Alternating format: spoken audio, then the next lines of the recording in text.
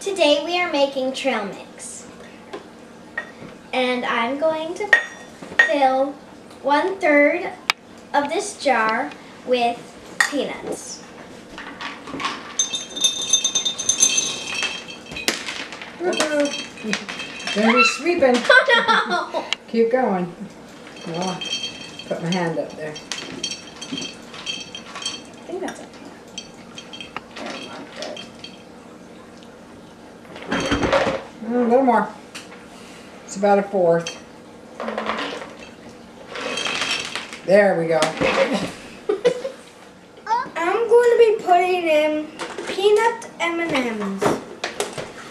And there's any kind, and you can put in any kind of M&Ms. Peanut butter M&Ms. You can put in chocolate M&Ms. You can put in any kind. Okay, go ahead. You're gonna put four of those into this. One cup. It's one fourth four times.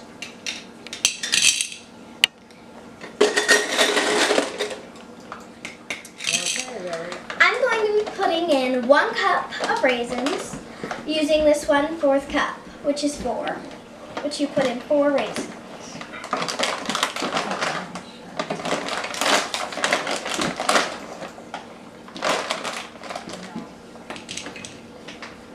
We're gonna have to sweep that back, bring in the sweeping crew after she gets done decorating the floor.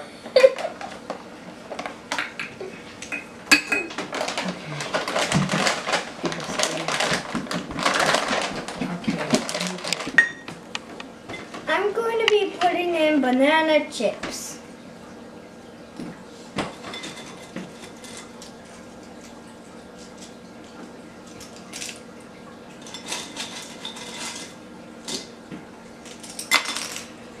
Okay, about four handfuls. Because you're measuring with your hand today. Go ahead, it's about a fourth cup. One more. Looks good. Okay, you're up next. We're gonna put in four of those of coconut.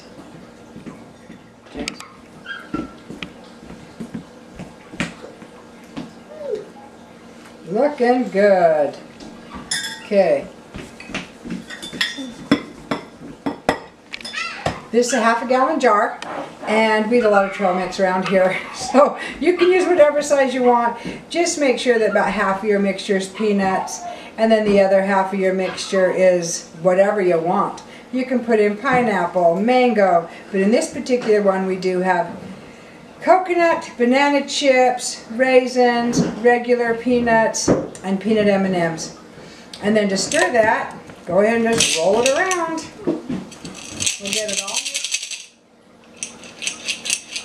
It'll take a while. Here, let him try.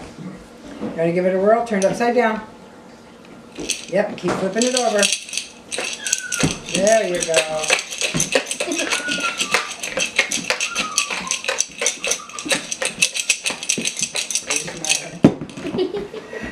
Pretty good. Okay, I think you ran out of some steam. Here, you go ahead and see if you can mix the rest of But that. the best thing about trail mix is you get to eat it. Okay, well, let's get right on that. Whew. Okay.